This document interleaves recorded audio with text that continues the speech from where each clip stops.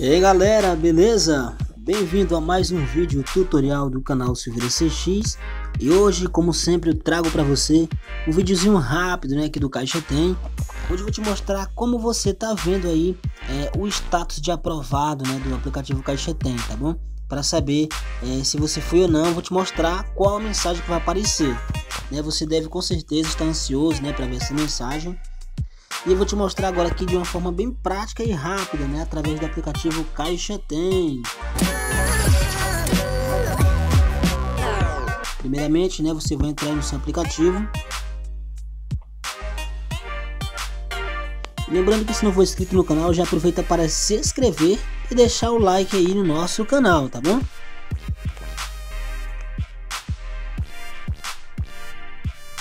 Bom pessoal, já carregaram aqui as informações é, você vai estar tá clicando aí em atualize seu cadastro, né?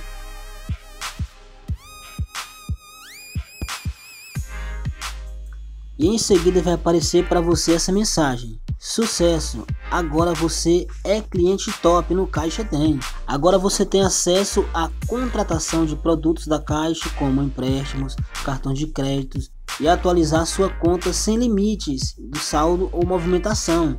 Essa mensagem aqui está te informando que você foi aprovado para a nova rodada de auxílio emergencial, tá bom, gente? Vídeozinho curto, vídeo rápido aí para você, né, ver qual o novo status do Caixa tem, tá bom? Se você gostou, já aproveita para se inscrever no canal e deixar o like no vídeo para fortalecer. E a gente se vê no próximo tutorial. Valeu!